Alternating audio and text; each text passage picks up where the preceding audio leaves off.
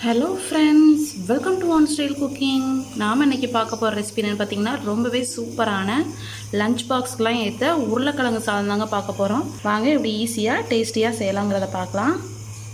வீடியோக்குள்ளே போகிறதுக்கு முன்னாடி கீழே உள்ள ரெட் கலர் சப்ஸ்கிரைப் பட்டனை கிளிக் பண்ணுங்கள் கூடவே பக்கத்தில் உள்ள பெல் ஐக்கானையும் கிளிக் பண்ணுங்கள் அப்போ தான் நான் போடுற வீடியோ எல்லாமே உடனுக்குடன் உங்களுக்கு தெரிய வரும். வாங்க இப்போ வீடியோக்குள்ளே போகலாம் உருளைக்கிழங்கு சாதம் செய்கிறதுக்கு இப்போ ஒரு கடாயில் ஒரு மூணு டீஸ்பூன் அளவு ஆயில் சேர்த்துக்கோங்க.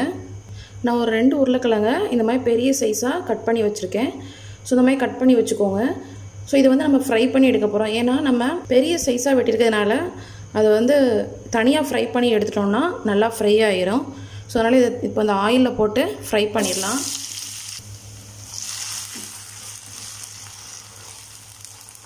இது எல்லா சைடும் நல்லா கோல்டன் ப்ரௌனாக வரணும். அது வரைக்கும் நல்லா ஃப்ரை பண்ணிக்கோங்க. ஸோ இந்த அளவுக்கு எல்லா சைட்லேயும் நல்லா ஃப்ரை ஆகிற மாதிரி ஃப்ரை பண்ணி எடுத்துக்கோங்க.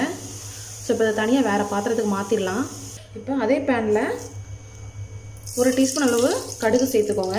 கடுகு பொரியும் போது ஒரு அரை டீஸ்பூன் அளவு ஜீரகம் சேர்த்துக்கோங்க.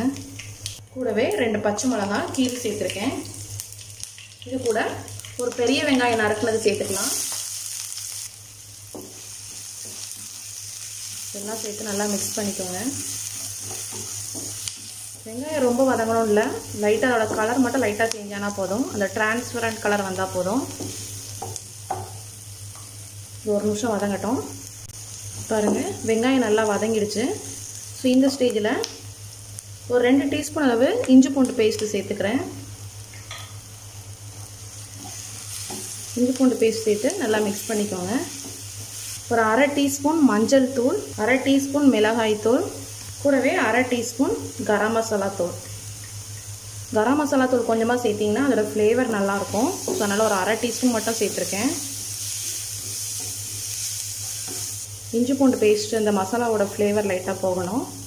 இது கூடவே கொஞ்சமாக ஃப்ரெஷ் பச்சை பட்டாணி சேர்க்குறேன். ஸோ இந்த உருளைக்கிழங்குக்கும் இந்த பச்சை பட்டாணிக்கும் டேஸ்ட் ரொம்ப நல்லாயிருக்கும். கலரும் ரொம்ப நல்லாயிருக்கும். இதை சேர்த்து லைட்டாக மிக்ஸ் பண்ணிக்கோங்க. ஸோ இப்போ ஓரளவுக்கு நல்லா வதங்கினதும் நம்ம ஃப்ரை பண்ணி வச்சுருக்கோம்ல உருளைக்கிழங்கு அதை சேர்த்துடலாம். ஸோ இது வரைக்கும் நம்ம உப்பு எதுவுமே ஆட் பண்ணல. ஸோ அதனால் உருளைக்கிழங்கு மசாலாவுக்கு தேவையான உப்பு சேர்த்துக்கோங்க. சாதம் வந்து உப்பு போட்டு வேக வச்சு வடித்து வச்சுருக்கேன். ஸோ அதனால் மசாலாவுக்கு மட்டும் உப்பு சேர்த்துக்கிறேன்.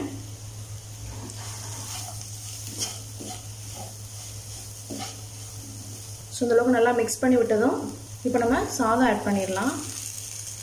சாதம் ஆட் பண்ணி நல்லா மிக்ஸ் பண்ணி விட்டுக்கோங்க.